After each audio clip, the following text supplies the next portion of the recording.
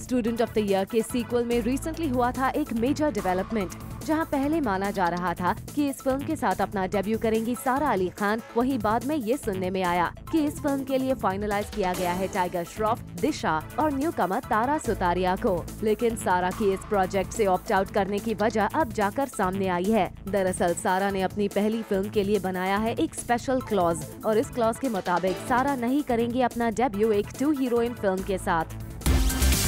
तीस में तीस।